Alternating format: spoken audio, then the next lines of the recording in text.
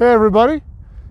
You ever wondered what keeps the wheels on the trains and the rails from getting worn out quickly in curved territory? Maybe none of you ever even thought about it. But anyway, there is a way that they keep that from happening. And I'm going to explain it to you right now. Well, I just happen to be standing here, do a little piece on curve oilers, and here comes a train. So we'll catch him coming through here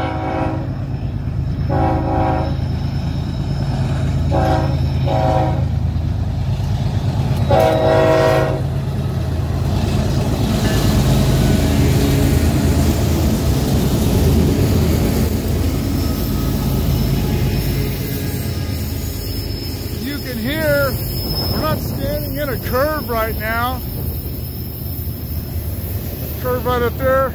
I know in a lot of my videos and a lot of times uh, if you're along the track somewhere, you can hear the wheels squealing, making a lot of noise. And that is obviously because the metal on metal, the wheel flanges and the rail. And if that isn't taken care of, the wheels and the rails will both wear out pretty quickly.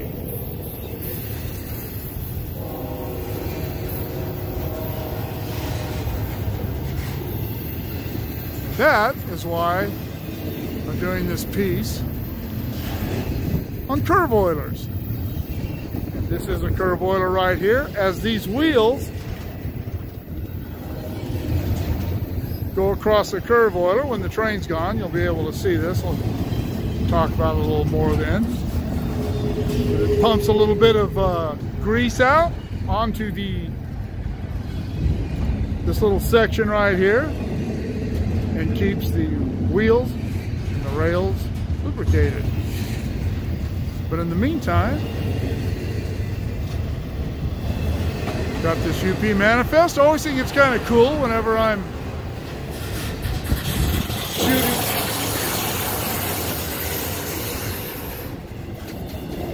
I had a subscriber ask me about all the weird noises trains make. That one, I, I really don't know what that is. I don't know if that's something between the cars.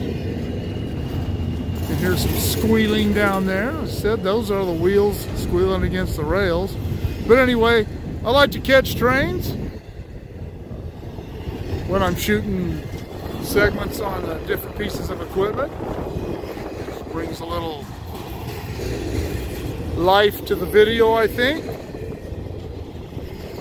Satisfies those curious about how things work and those who just like to watch trains. We are between Marcel and Cable. Tunnel 14 is right up there about, know, a quarter of a mile or so. For those of you who are familiar with uh, the railroad alongside Highway 58 near Tehachapi, uh, tunnels 14, 15, 16, and 17 are the ones you see alongside the freeway on the other side of Tehachapi Creek, just before you come into Tehachapi.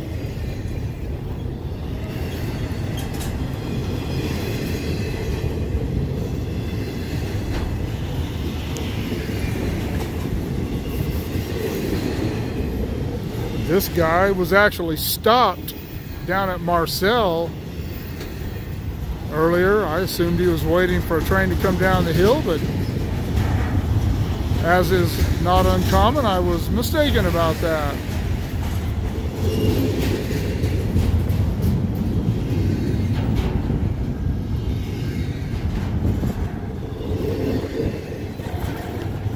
Beautiful day up here.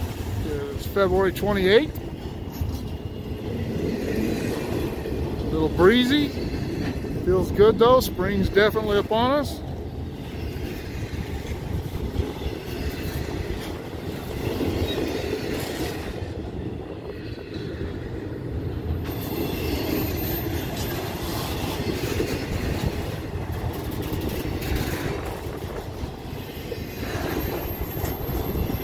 Obviously another one of the uh, PSR Precision Railroading 2020 plan trains.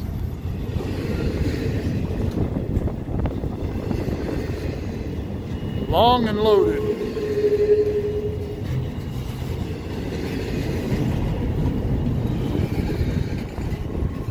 That's the end of it. No drone, so I guess it's not that heavy.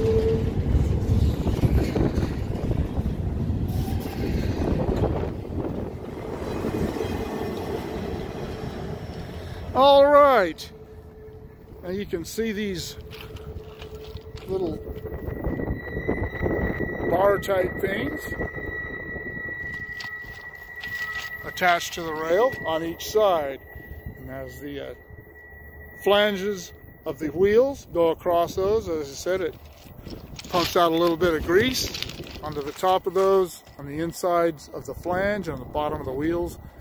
And that is how they keep the rail and the wheels from wearing too quickly.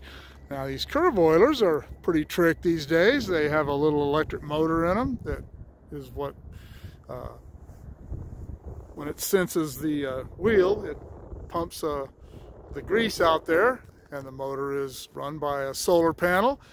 Back in the old days, they actually had little uh, hydraulic pistons that the uh, flange of the wheel actually ran over and every time the piston would get pumped by a wheel it would put a little grease out there. They were quite a bit messier. These are still as you can see compared to out here where everything's pretty clean. They're still pretty dirty but the old ones were real bad. You'd come here and they had uh, oh, it was they were a mess.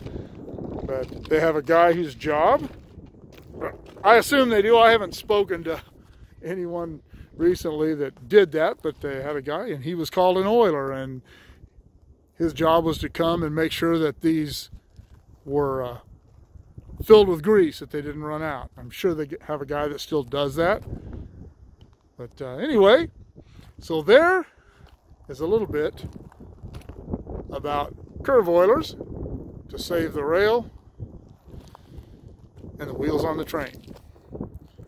Well, I hope that answers uh, some questions that nobody ever really asked. But anyway, there you have a little piece on how the curve oilers work. If you have any ideas, be sure to shoot me an email or put it in the comments below. And as usual, like, share, subscribe. If you like what you see, click on the bell to be notified of future content. And we'll see y'all later.